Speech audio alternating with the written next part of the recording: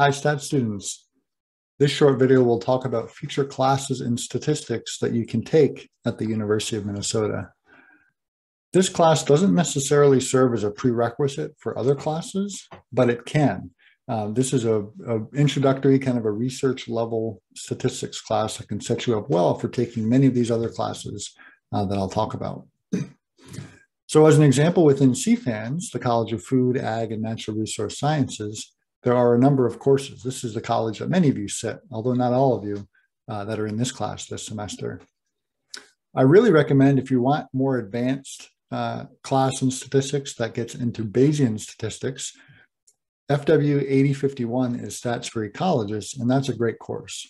Um, unfortunately, that one is typically taught in the spring, but it won't be taught in the spring of 2022 because the professor, Dr. John Fieberg, is on sabbatical. Uh, and so you'll have to catch that in 2023 if you wanted to take that course. The entomology department offers a number of great classes uh, that kind of have a, an agriculture or natural resources bend to them. Um, and so ENT 5121 is applied experimental design. Uh, that is a great course, especially for those of you in applied plant sciences and some of the other grad programs that use a lot of experimental data. Um, that's going to be a great class for you to think about how you might analyze data from experiments. ENT 5126 is what we call space-time analysis. Um, and so that's taught um, every spring or every other spring as well. I think will be taught in spring of 2022, um, especially if you deal with data collected over time and across space. Uh, that's going to be an excellent class for you, uh, especially to those of you in entomology and pathology uh, systems. ENT 5920 is data management for biologists. Uh, that's an excellent class that kind of looks more at kind of the, the bookends of data analysis. And so how do you get your data into the kind of shape? How do you uh, manage it? And then what do you do with the data after you do your analysis? Um, and so I really recommend that class uh, that's offered in the spring as well. So all of these classes are offered next spring uh, with the exception of the stats for ecologists class. You'll have to catch that in 2023. The University of Minnesota is big. Uh, we have a statistics department and we have a biostatistics department and we have a lot of other departments that also teach statistics classes.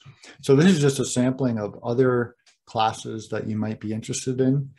If you have lots of variables and you're interested in the stats class, uh, applied multivariate methods is a great one.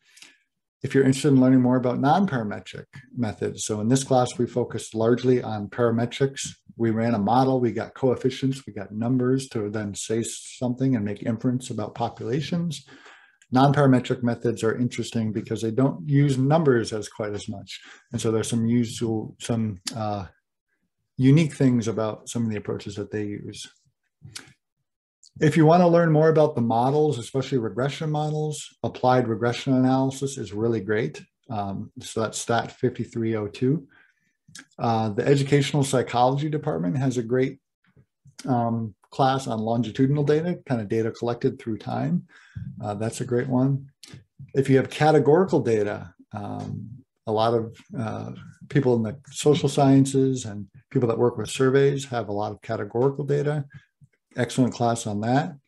Um, a lot of uh, classes on survey design and survey collection and, and research methods. Uh, that's another great class that's offered uh, here at the university. And so that's just a quick sampling of some other classes. I know that many students that have taken this course in the past go on. If they want more advanced stats knowledge, they'll take other courses. And many of these are, are part of their statistical package in terms of courses that they take. So I'm happy to answer any questions you might have about, you know, your own project and whether or not you think one of these courses might be a good fit and give you the tools to help you analyze your own data uh, by taking one of these classes. So uh, that's a brief overview of uh, some other offerings here at the U of M.